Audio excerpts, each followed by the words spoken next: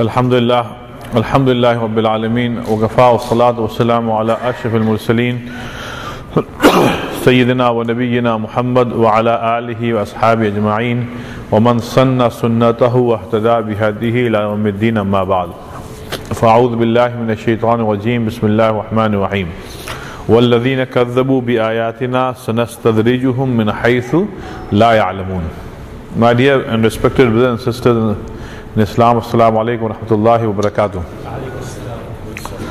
Now, my, my dear brothers and sisters, there is one very, very important word in Quran and Hadith that had come very often. In fact, this word had been repeated, I do not know how many times, but multiple times in Quran. And uh, hundreds of times this ayah, this word has been repeated in a hadith of Rasulullah sallallahu alaihi wasallam. And this word is very familiar with, with you and me, and that the word is barakah. Barakah, and the jama or the plural for barakah is barakat. Which in English we translate as blessings of Allah, blessings of God, which is uh, very close to the right translation, I would say.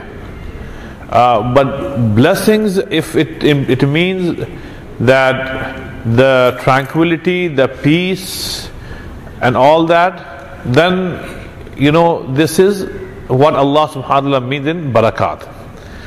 Barakah also, brothers, means that irrespective of the limitation of your resources, you still led a complete life.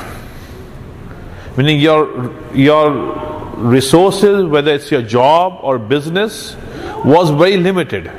Let's say your salary is very limited as compared to your friend or brother's salary, that his salary is four or five times more than your salary. But in spite of this small or meager salary of yours, all of your expenses are being met. From your house rent to the education of your children, to paying their bills, to eating food, and all the other necessity things are being met. So Allah subhanahu wa ta'ala is saying that this is the barakah that I put in the earning and in the money of some people. But this barakah of Allah is specially is done with to few people only. It is not with everybody. For the rest of the people, they have lots of resources. You know, their salary is big, their business is flourishing. So they have the means, their houses could be big, their children could be going to really nice public schools, uh, private schools, expensive ones, everything is there. But the outcome is completely different. Neither is there peace in that family, nor is there deen in the family. Nor are the children on the right path. Nor does the children love the parents, nor do the parents really take care of their children. So this means that the resources are there, which are, the word for resources in Quran is asbab. As Allah said, asbab as-samawati wal ard. Asbab are there, means are in abundance. But the desired result is not there. So this ayah which I read to you in, in the beginning, Allah subhanahu wa ta'ala is saying, وَالَّذِينَ كَذَّبُوا بِآيَاتِنَا سَنَسْتَدْرِجُهُم مِّنْ حَيْثُ لَا يَعْلَمُونَ وَأُمْلِي لَهُمْ Try to understand this, brother. May Allah protect you and me. But this ayah is a very, very important ayah of Quran for all of us to understand. As I have mentioned to you earlier, that right now, brothers, the Ummah, meaning Muslims, are completely detached from Quran. Completely detached from Quran. You, you don't have time for Quran, to be honest. So right now, the, the, the connection between the Ummah and the Quran is completely cut off. So when I say that this ayah is very important, you must be thinking what important? Uh, I do not know what you're talking about. I, I never heard about this ayah or I never thought about the meaning of this ayah. But this is true with not only you, but the majority of the ummah is completely detached from Quran. Quran is being taken as a book of tilawat only and that also on some occasions. Otherwise, Quran is there to be read and understood and then implemented. So when I say that this ayah is very important, that, that whether I'm saying this with, with full responsibility, that this ayah is very important for our life. So Allah is saying, وَالَّذِينَ كَذَّبُوا بِآيَةٍ Those people who are denying me. And here denial doesn't mean that they became kafir. Denial means that they are not following on the commandments of Allah. So you could be a Muslim, but still, billah, you, you could be denying. Denying means you are not following the commandments of Allah. So Allah saying, if you are a Muslim and then you are denying following the, the commandments of Allah and Rasulullah so Allah says, Sanastadrijuhum. So when you are committing sins, Allah saying, I am not going to grab you right away. But I am going to do things which are completely contrary to your belief. You are thinking that, that you know, if Allah is there, then why is He not grabbing me? I'm breaking the law of Allah, I'm committing sins after sins. So if there is Allah, then why is He not grabbing me? Why is He not punishing me? I have been committing the same sins over and over and over again. And I have been doing this for years. But where is the punishment of God? Why God is not punishing me? So Allah subhanahu wa ta'ala is saying that this person is not understanding my sunnah. Sunnah means laws. And that is that when a believer deliberately, knowingly breaks the laws of Allah, Allah is saying most of the time I do not grab that person right away.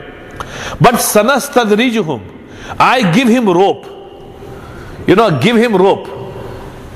You know, brother, have you ever do you fly kites? Kankawe Patang Bazi? After Lahore.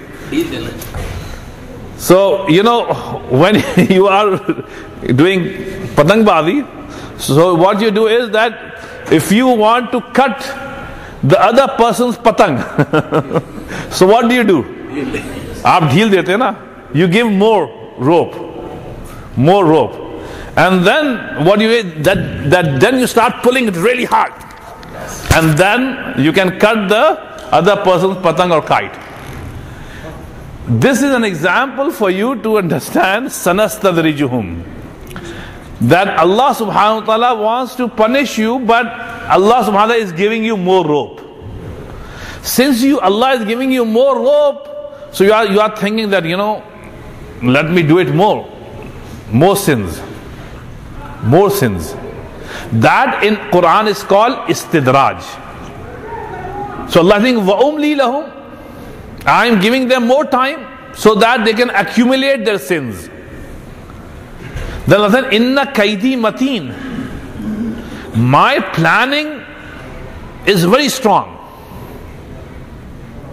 Okay? So this ayah is telling us, my dear brother sister, that when you are committing sins, do not expect the punishment of Allah to come to you right away. Allah is giving you rope. Okay. Second thing about this ayah, brother, is what I told you in the beginning that the law of Quran is that one ayah of Quran explain is, is explained by another ayah. So let's take this ayah and then look into Quran that where Allah subhanahu wa ta'ala is explaining this ayah. So you turn to ninth juz and you will find that Allah is explaining this ayah. In ninth, Allah is saying, "Falamma nasu ma I'm sorry, uh, uh, this is in the eighth. This falamma nasu ma bihi. When people forgot about me, not remember, they forgot about me. You know, no zikr of Allah, no ibadat. People completely forgot about Allah. So, brothers, if people forget about Allah, then the punishment of Allah should come right away. That's what we think. No, Allah said no. Falamma nasu, when people forget about me, fatahna alayhim abwaba kulli shay. What I do is that I open the doors of everything for them. Fatahna alayhim abwaba, abwab means door, kulla shay. Kulla shay means every materialistic thing that you want, Allah subhanahu wa ta'ala will give you in abundance. Why? Because you forgot about Allah subhanahu wa ta'ala.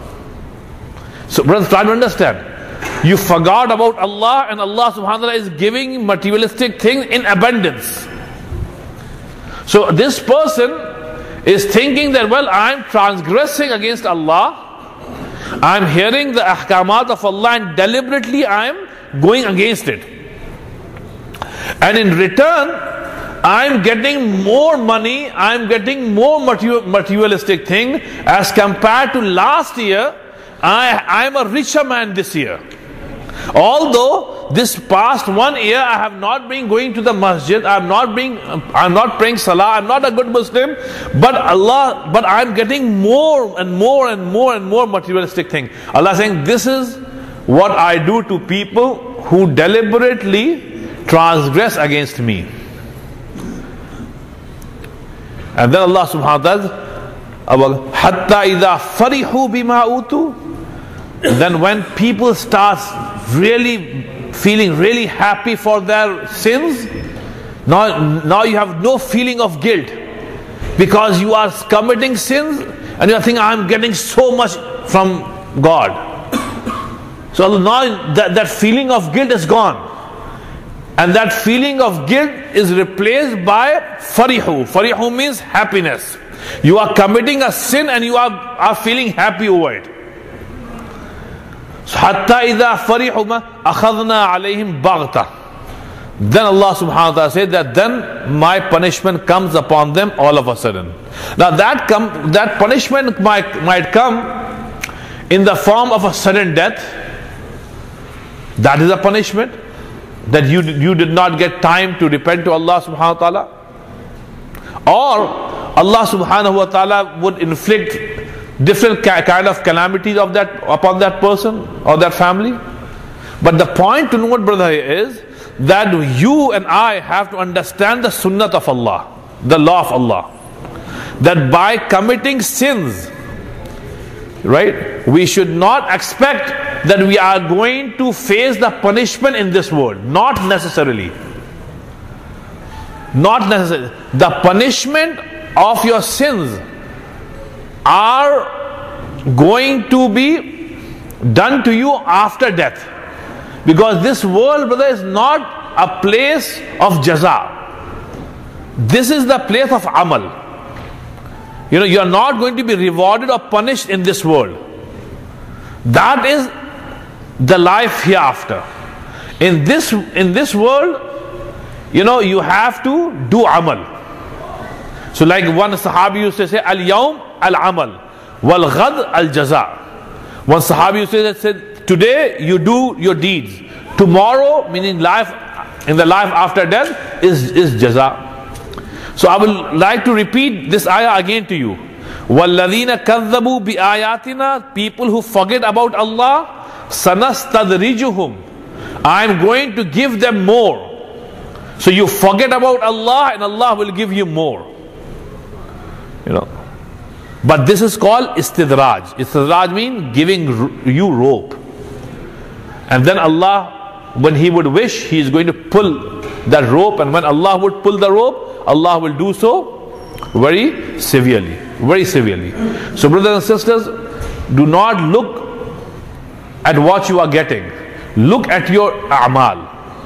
Are your a'mal according to the sunnah, according to the ahkamat of Allah and Rasul or not?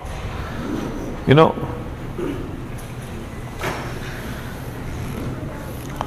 and then moving on, I wanted to talk to you about Nuh alayhi salatu wasalam story, but I have only 15 minutes left, and maybe tomorrow we'll talk about just Nuh alayhi salatu wasalam because yesterday the young Hufaz read in Salat Taraweeh the beautiful story of Nuh alayhi salatu wasalam. So I was planning to talk about Nuh alayhi salam tonight, but inshallah we'll do it, it, it tomorrow. In the remaining 15 minutes,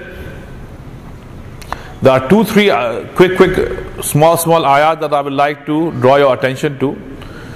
But the first and the foremost thing in, in Islam, brother, is before Salah is your intention. You know, innamal a'malu bin niyat. Your amal, right? No matter what, whatever you have done, your amal is going to be judged by your intention. In fact, brothers, in one hadith, Rasul, Rasul said, Niyatul mu'min khayrun min amali. This is a very high level thing that Rasulullah said. Rasul, Rasul, said that the niyyah and intention of a mu'min, niyyah or intention of a mu'min is better than his amal. Because brother, intention is made in the heart. Amal is done by our outward appearance. You are praying salah, this is an amal, people can see. So there is a possibility of riya and show off in that. But niya is done in the heart. Nobody can see. So Allah subhanahu wa ta'ala in the 11th juz of Quran have told us how important niya is. And the, the story is, is long, but I will summarize it in few minutes. And that is that in Medina Munawwara, when Rasulullah went from Makkah to Medina Munawwara, where did Rasulullah stop before Medina? Where did Rasulullah stop before Medina? Quba. Quba. A small village called Quba. Well, there were various reasons why Rasulullah stopped there. One of the reasons was that Rasulullah uh, relatives from his mom's side lived in Quba. So Rasulullah stopped there before he went to Medina Munawwara. Now at that time, there was a distance of nearly six miles between Quba and Medina. Now Quba is a part of Medina. And there, there's this masjid, Masjid Quba. So when Rasulullah went to Quba, Rasulullah stayed there for a couple of days. And when Rasulullah was leaving for Medina, so the people of Quba came and they requested, they, they said, O Prophet of Allah, you are leaving to Medina, but how are we going to pray Salah? So they said that we had made intention of building a masjid. So we'll build the masjid but since you are leaving today, can you put the foundation stone and then we'll build the masjid over it? It was Juma, the day of Friday. So Rasulullah put the brick in the foundation of Quba. It was Juma. Rasulullah said, Well, today is Juma as well, so let's pray Salah together. Allah sent Jibreel and Allah made Juma mandatory upon this ummah. The first Jummah that Rasulullah led was in Masjid Quba. Now, Masjid was not built. Rasulullah just put the foundation stone. So Rasulullah gave khutbah and then he led Salah. So that was the first khutbah of Jummah that Rasulullah did. First Jummah Salah that Rasulullah led. And then the first masjid that was built in Islam was not Masjid Nabi, but it was Masjid Quba. Now Allah subhanahu wa ta'ala praised those people who founded that masjid. Allah said, Afaman assasa bunyanahu ala taqwa min Allahi wa ridwan. That this masjid, Masjid Quba, was founded on taqwa. So the Ahlul Quba was, were praised by Allah subhanahu wa ta'ala that they founded this masjid only on, on taqwa. They had no intention but to please Allah subhanahu wa ta'ala. So here this ayah is telling us the importance of niyyah. That Allah subhanahu wa ta'ala from the sky revealed this ayah in praise of Ahlul Quba. Now on the other hand, near Quba, there was some munafiqeen living. A completely different set of people. After some years, when they saw that the best place to go and plan against Muslims is a masjid. Build a masjid and sit there and plan against Islam. They came to Rasulullah and they said, O Prophet of Allah, we intend, now this is, are munafiqeen, hypocrites. They said, O Prophet of Allah, we have uh, uh, made a, an intention of building a masjid. Now Rasulullah was going somewhere for a few years, for a few days. Rasulullah was in a rush. So Rasulullah said, what do you want me to do then? Uh, can you put the foundation stone and then you can leave and we'll build on it. So Rasulullah said, fine. Rasulullah went there, just like he did in Quba, Rasulullah put the foundation stone. The Rasulullah did not knew the intention of these people, Allah knew. When Rasulullah left, Rasulullah was thinking that now they will build on it, so another masjid will come up. But Allah subhanahu wa ta'ala in, sent Jibreel alayhi salatu wasalam to Rasulullah and Allah subhanahu wa ta'ala informed Rasulullah about the reality of these people that these are munafiqeen and, and hypocrites. They do not intend to make a masjid. They just want to build a masjid like structure and they are going to call that masjid but they want to use that masjid, that place to plan against you and Muslim and Islam. And then Allah subhanahu wa ta'ala informed Rasulullah that when you go back, when you, if you see some uh, walls coming up, you know, you know, these people are in the process of building walls and put a, a roof, order your Sahaba to demolish it. So when Rasulullah went back, Rasulullah saw that, well, these munafiqeen are busy building walls and then lit on roof. Rasulullah said that, no, go and demolish it. And then they said, O Prophet of Allah, why did you demolish? This was the masjid, a, good act that we were doing. You demolished the masjid. Rasulullah read these ayahs that were revealed to Rasulullah. أفمن أسس بنيانه على تقوى من الله ورضوان خير أم من أسس بنيانه على شفا جرف حار فانهار به في نار جهنم والله لا يهدي القوم الظالمين Allah subhanahu wa ta'ala said to Rasulullah that if you want to pray at uh, some other place beside Masjid Nabawi, you go to Quba and pray there. Do not go to this place. Because this place that munafiqeen want to call as masjid was not based on taqwa, but was based on some other intentions.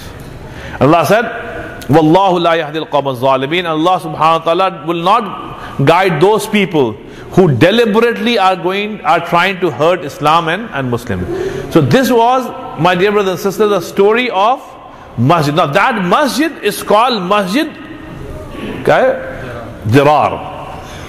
Masjid Quba is called Masjid Quba, but this masjid is called Masjid Dirar. Dirar means that this masjid was founded on hurting Muslims and, and, and, and Islam. On the other hand, Masjid Quba was founded on taqwa. So Rasulullah said in a famous hadith sharif that man tatahhara fi bayti thumma ata masjid Quba fasalla fihi rak'atayn falahu ka ajri umrah or kama qala al Now this is the fazilat and the virtue of Masjid Quba. Rasulullah, Rasulullah said that a person who will make wudu in his home. Now, in a home, here means, brother, when you go from Orlando, inshallah, to Medina Munawwara next time. So you have, if you make wudu at your hotel room, that's your home there. So Rasul, Rasulullah said that if you make wudu at your home, then you come to Masjid Quba. And there you pray two rakat of salah. Just two rakat of salah in Masjid Quba. So Rasulullah said that you will get the reward of umrah. Falahu ajri umrah. You see? So this is the significance of Masjid Quba. Why? Because it was based on on, on taqwa. So my dear brothers, everything goes back to your intention. With what intention you are doing good deeds. So innamal a'malu bin niyat that all the a'mal are based on your on your intention. So this is in the 11th juz. And then one last ayah, brothers and sisters. Um, Again, brother, the same issue comes back that the Ummah is so much detached with Quran that if I say to you that this ayah is also very important, you'll say, Hafiz I never heard about it. but uh, believe me, brothers, this ayah is a very strong ayah. Very strong ayah. I'll just translate it to you and then you, you, you decide how important it is. I'll just translate it to you. Let me not do the, the, the tafsir of it. You, you decide whether it is important or not. Allah said, Ya ayyuhalladhina amanu, all those people who believe, ati'u Allah wa rasulah, obey Allah and His Rasul, wa la tawallaw anhu wa antum tasma'un. And do not, do not show your back to Rasulullah sallam while you are listening to him. While you are listening to him. And then I said, وَلَا تَكُونُوا كَالَّذِينَ قَالُوا سَمِعْنَا وَهُمْ لَا يَسْمَعُونَ Do not be like those people who say that, yes, yes, yes, I'm listening, I'm listening, but they have not listened. Inna sharrad dawab, the worst animals. Inna sharrad dawab. In the Allah summul bukmul ladina la yaqilun. The worst animals in the eyes of Allah are those who are deaf and dumb.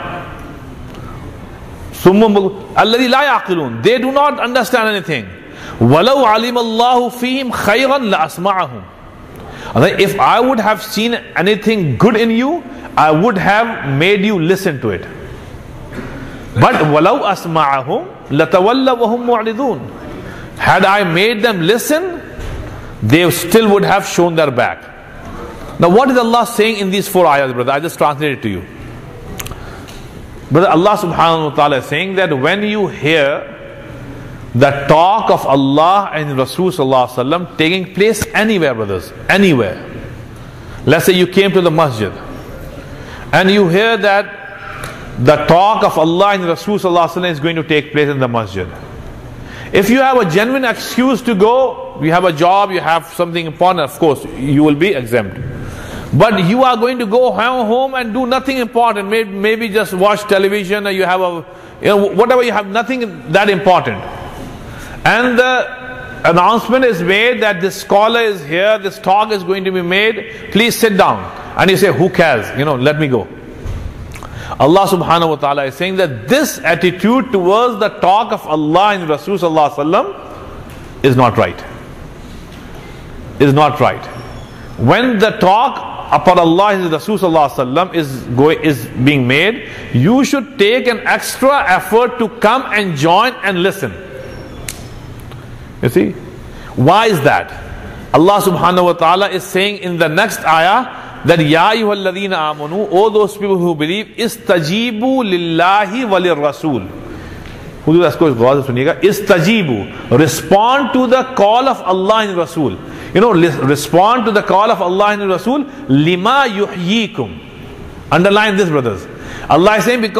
لائفارٹ لائف آف یو ہارٹ لائز اونلی Meaning, if you listen to other things, your heart will be dead. But when you listen to the talk of Allah and Rasul you know, there is life of your heart in that. Meaning, the more you listen to Allah and Rasul the more your heart will find peace. And remember that famous ayah, Allah bidhikrillahi tatma'innul qulub that verily in the zikr of Allah, your hearts are going to find peace. So the, the talk of Allah is taking place. The talk about Rasulullah is taking place, but you do not have time to come. A good example, brother, of that is that, you know, when we send emails to the community, that this scholar is coming, this Islamic activity is going to take place, this class on Hadith or Quran is going to take place. We have nearly 1600 email list in our server. So we, we sent 1600 emails. If there's no food, then handful of people come. If there's food, then the attendance is a little bit, bit better. But what are these people doing by not coming? Sorry for this example, but if I will say that a film star is coming to pray two rakat of salah in the masjid. If you want to meet him, come here. If I send this email, any Bollywood or Hollywood actor is coming, and he is just stopping by and he will pray Salat Zuhr at Jama Masjid. If you want his autograph, if you want to meet him, have a photograph with him, please come to Jama Masjid. 145 Salat Zuhr. Brothers, we have to call cops to control the crowd. Although he is calling people towards Jahannam. what is he calling people? Dance and music and all kind of evil. But we respond. We say, Labbaik, I'm coming, Hafiz Sahib, you can count on me. I'll be there at one o'clock in the first saf. I want to shake hand with him. Take maybe I take a photograph. If I say, well, this big sheikh is coming, you know, come and listen to him. Now he is calling people towards Jannah. And the amal of Jannah. You say, Hafiz, I'm, I'm very sleepy, I'm very, I, I wish I could come, but I'm, you know, all kind of excuses. Although in this ayah Allah is saying, Lima yuhyikum. The life of your heart depends upon listening to the talk of Allah and Rasul sallallahu But you know, our priorities have changed. Our priorities have changed. So this is why, brothers, our hearts do not respond to the name of Allah and Rasul sallallahu as they should have responded. May Allah subhanahu wa ta'ala help you and me understand it. Brother, if you are interested, that tomorrow, inshallah, 9.30, uh, inshallah, we'll, we'll, I'll talk about the story of Nuh alayhi for half an hour. If you're interested, you can come. And then day after tomorrow, inshallah, we'll start Surah Yusuf again. Uh, inshallah, because Surah Yusuf is full of ma'iza and nasiha and uh, lessons. So we'll do it day after tomorrow, but tomorrow inshallah 9.30 we'll do Surah Nuh. May Allah subhanahu wa ta'ala help you and me understand this. Subhanallah bihamdi subhanallah.